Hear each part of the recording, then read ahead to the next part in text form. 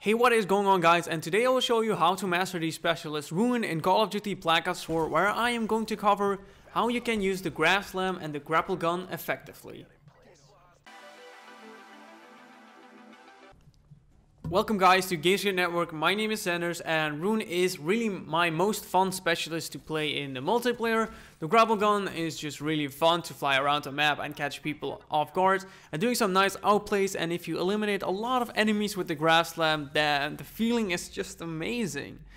Although some say it's not that useful, I get where that is coming from. The grapple gun doesn't kill anyone and you have to be up close to use the grav slam. But still, if you know how to use your grapple gun effectively, it can be very hard to kill and you can easily get close to use the grav slam.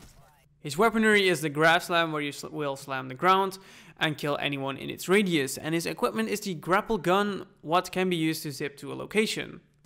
For his grav slam what will let you perform a jump in the air and then slam the ground and will destroy anything in its radius including equipment and score streaks. But keep in mind that it won't go through walls, but you can still use it in the water. The grav slam is really good for taking out multiple enemies within objectives or buildings. The jump you will perform will make it harder for enemies to hit you because it's pretty fast and the weird jump you make will jump you mostly out of their aim you can also just use it as a last resort to not get killed if you need to re reload or enemies come in your back. The grav is kind of risky because you need to be up close to kill enemies with it. So best way to get close to people is use cover, corners, and also if you combine the movement with the grapple gun, it will make it a lot easier to get close to enemies and slam them to their graves. For the grapple gun, what makes Ruin the most fun specialist to play it will simply zip you to a location you shoot it. It's pretty fast and if you can get the hang of it, you can make good use for it. So little tips on how it works. The grapple gun has really long range and if you aim it, you can see the white circle if you can use it. And if not, there's going to be a red circle before it if you aren't in range yet to use it. The cooldown of the grapple is very low, so you can pretty much use it all the time. You can cancel the hook by jumping during the zip and also looking to the sides will stop it. But this makes it more usable because now you can use the zip to get very high in the air and jump on the enemy to get them by surprise. This makes up for tricky outplays and makes it really fun to use the grapple gun. Always use the grapple to get higher up and get behind them and not use it directly to zip to the enemies because that doesn't work at all because they will just start shooting at you because they can see the zip line and during the zip you can only fire from the hip and that isn't that great. So always use it to get higher up, jump off and aim your gun from the air and kill them.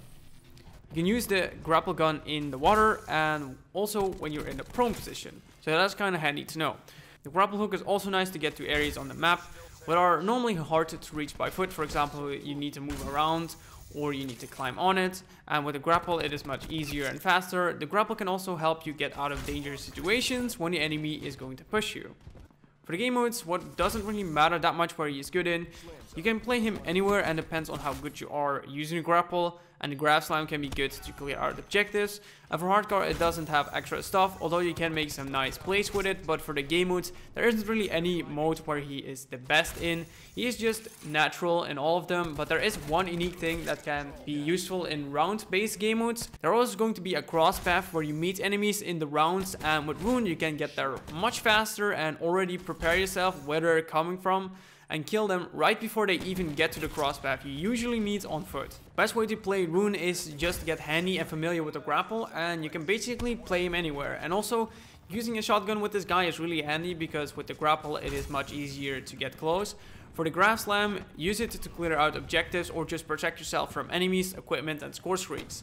But for me, it is just fun to play him in general, so if you want to not be all serious, you can just play him and make some funny plays.